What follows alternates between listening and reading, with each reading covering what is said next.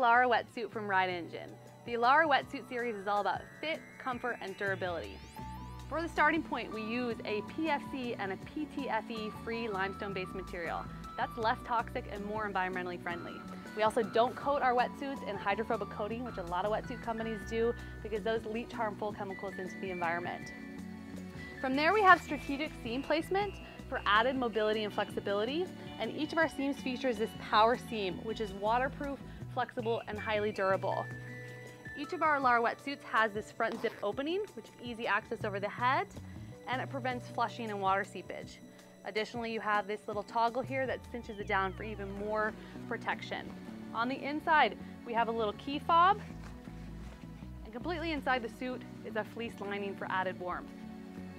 The Elara comes in a 5-4 with a hood, a 4-3, and a 3.2.